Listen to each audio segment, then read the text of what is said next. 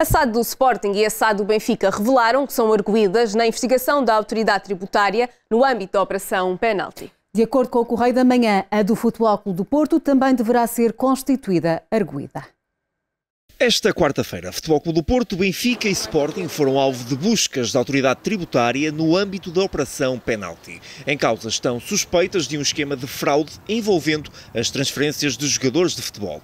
De acordo com o Departamento Central de Investigação e Ação Penal, a investigação incide na prática de crimes de fraude fiscal qualificada, fraude contra a segurança social e branqueamento de capitais. Os factos ocorreram entre 2014 e 2022. Há fortes indícios de vantagens patrimoniais ilegítimas que terão usado o fisco e a segurança social em mais de 58 milhões de euros. Importa sublinhar que a Operação Penalty tem origem numa outra investigação, a Operação Fora de Jogo, desencadeada em 2020 e que foi suscitada por informações reveladas por Rui Pinto no âmbito do caso Football Leaks. Nessa altura, teve então início uma investigação precisamente para averiguar esquemas de fraude nas transferências de jogadores. Em três anos, a Operação Fora de Já conta com 47 arguídos.